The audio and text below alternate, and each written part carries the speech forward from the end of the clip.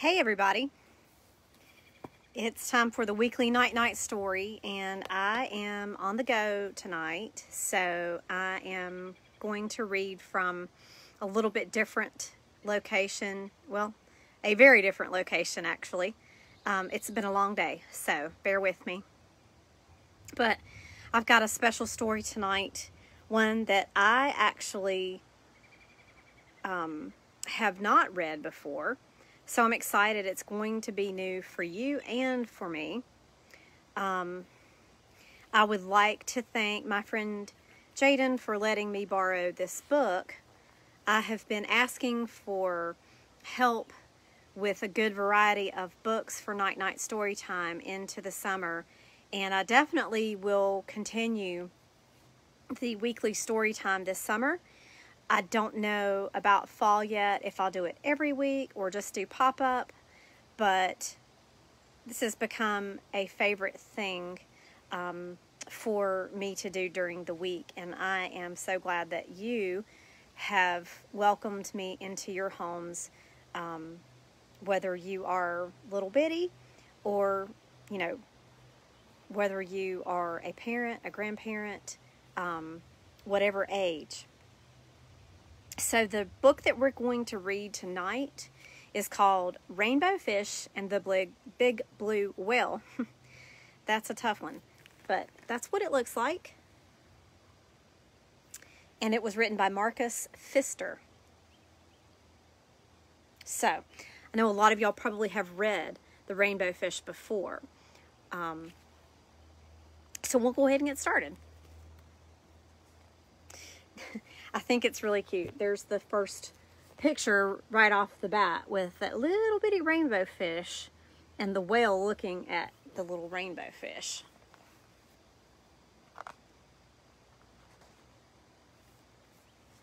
Okay.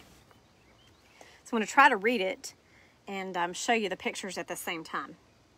A long way out in the deep blue sea, Rainbow Fish and his friends swam happily through the reef. Each of them had a glittering silver scale, except for one little striped fish, but he belonged to the group anyway. And you can see the little silver parts.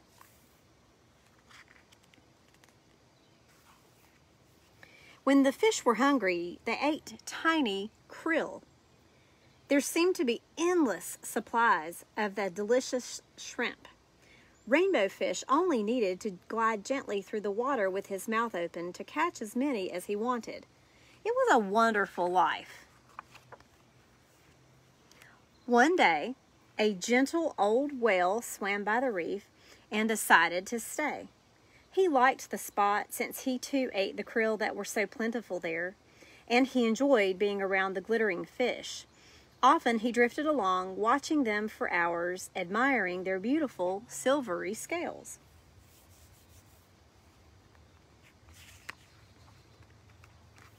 Before long, the fish with the jagged fins noticed the whale watching them. Why is he looking at us like that? he asked the others. He was in a particularly bad mood that day. See how he's staring at us? He went on irritably. Who knows what he's thinking?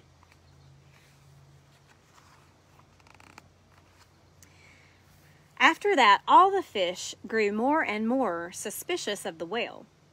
Look at that giant mouth, said one. Soon the krill will all be gone. Rainbow fish began to worry. Up until now, the fish had always been able to eat their fill. What if the whale did eat up all the krill?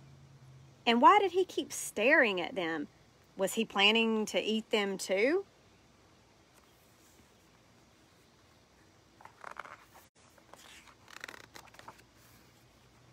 One day, the whale swam quite near the school of glittering fish. Panicked, the fish with the jagged fins sounded the alarm. Look out, he called. The wicked whale is after us. When the whale heard that, he was hurt at first, but soon he grew very angry. I'll show them, he thought. I'll teach them a lesson. So the great blue whale shot into the middle of the school and lashed out with his gigantic tail sweeping the sparkling fish in all directions. Look at them tumbling over. The terrified fish fled, racing towards a crack in the reef for safety. But the whale didn't leave them alone. He followed Rainbow Fish and his friends all the way back to their cave. The blue whale swam back and forth, casting sinister glances at the little fish. Do you know what sinister means? Sinister means something dark, something scary. They were trapped. You can see that they're trapped in that crack in the reef. I told you that whale was dangerous, whispered the fish with the jagged fins. We have to watch out for him. After a while, the whale calmed down. He made one last pass, then disappeared behind the reef. Nervous, but driven by hunger, the fish continuously and cautiously left their cave and swam off in search of food. But the battle with the whale had left its mark. All the krill had been driven off. This is silly, declared Rainbow Fish. Before, we played happily in the sea. Now, we hide in terror in our cave. Before, there was always enough food for everyone. Now we have nothing. We must make peace with the whale.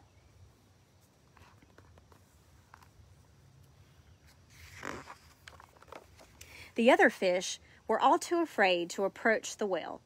It was up to Rainbow Fish. The whale stared at Rainbow Fish suspiciously. Please, let's talk, said Rainbow Fish. This fight was all a big mistake. It drove off the krill and now we're all hungry.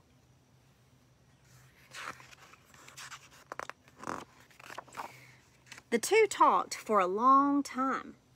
The whale told Rainbow Fish how hurt and angry their hostile words had made him.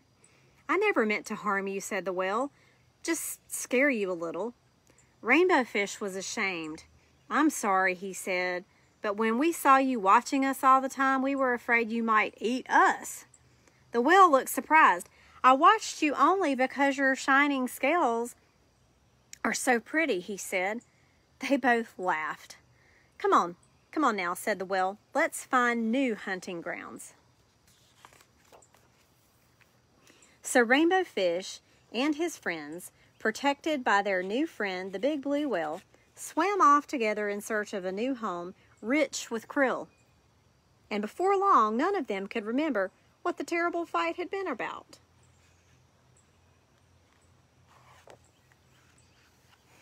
And that's the end of Rainbow Fish and the Big Blue Whale.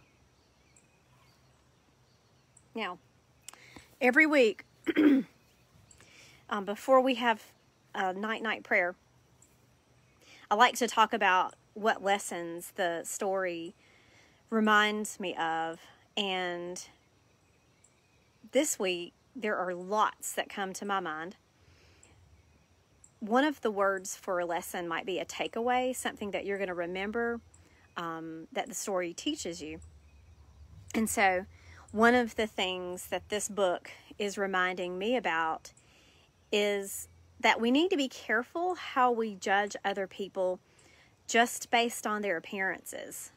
Um, we all are different. We all look different. We all have different skin tones. We have different types of hair. We have different body shapes. Um, some of us are short.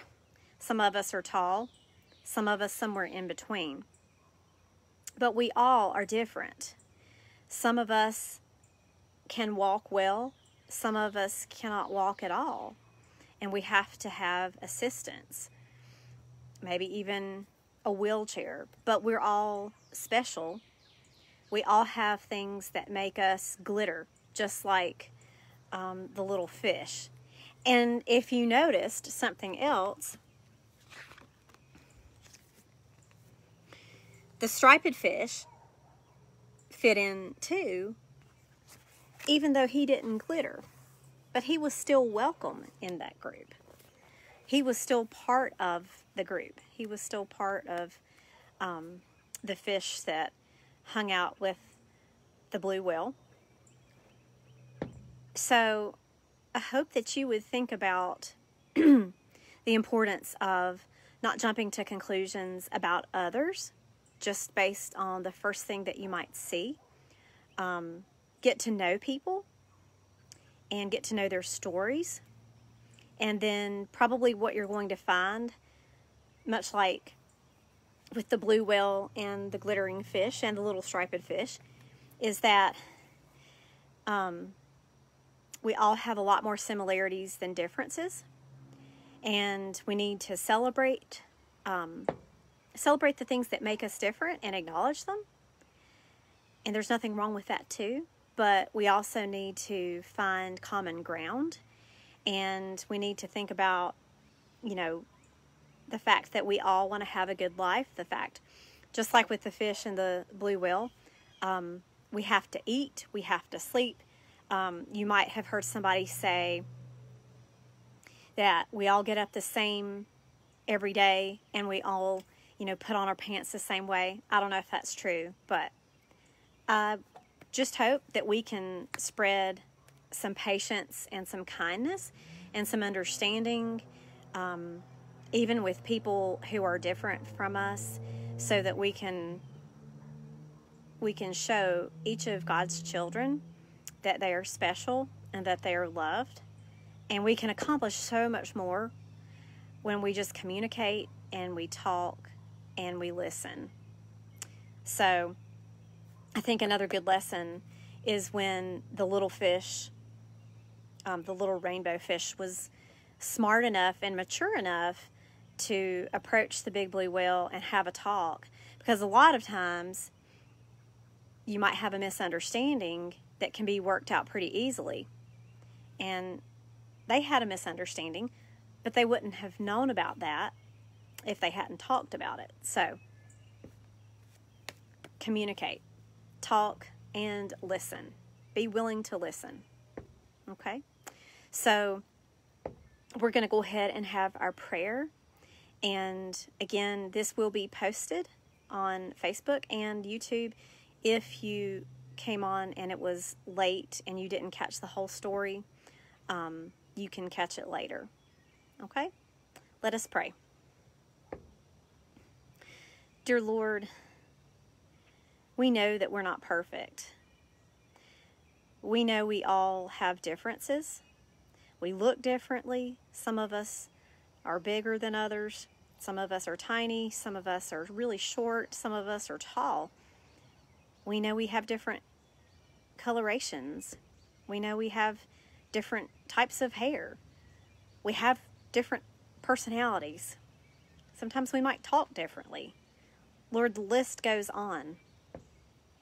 But Lord, help us to know how much more we can accomplish and what we might be missing out on if we don't come together and if we're not willing to talk to one another and to sometimes maybe admit when we're wrong, that we've judged somebody incorrectly. Um, help us to give each other a chance. Um, help us to listen to one another, Lord. Help us to be loving and help us to um, again, just work together and realize that we are one big team, that we are all different parts of the body of Christ, and that you want us to recognize the image of you in one another. That we are special and we are loved, and you love us, therefore, we should love each other. Lord, we just pray for good sleep and help us to rest, help us to be safe until we meet again. And Lord, it's in your holy name we pray all of these things. Amen. Amen. So, thank y'all this evening. I'm sorry Pooh Bear couldn't join me. I am at my parents' property in Pilot Mountain. So, like I said, I was on the go this evening, um, but still wanted to hop on and do the night night story. And I will see y'all next week for another night night story. I don't know what I'll read then, but Again, if anybody has suggestions, um, please just message me and I'll be glad to consider them and try to get my hands on that story. Okay? Love y'all bunches, and I'll talk to you soon. Bye.